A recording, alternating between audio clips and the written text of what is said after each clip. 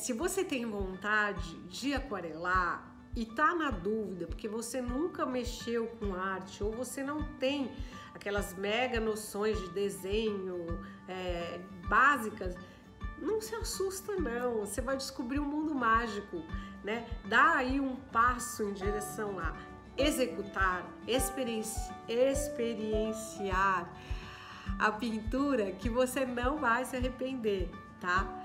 É outra coisa, a gente também trata assim, a aquarela, ela é muito de mancha, ela é muito de acidente, ela é muito do que está acontecendo. Opa! Aí o que acontece? Você vai aprender a controlar esses acidentes, controlar não, né? Depois que o acidente aconteceu, já, já foi.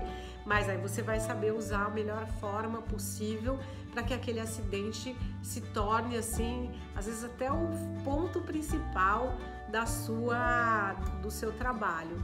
Então, pessoal, aquarela, assim, fora que assim, eu, eu não posso falar muito porque eu sou apaixonada, mas assim, quando as, as manchas começam a interagir no papel, quando você começa a brincar com as cores, né, e, e ter uma liberdade ali que muitas vezes na vida a gente não tem, é por isso que é encantador, sabe? Que assim, é que nem quando você sonha uma coisa muito boa que você quer e, e, o sonho é dar aquela sensação de prazer, que ai que gostoso, não sei o que lá.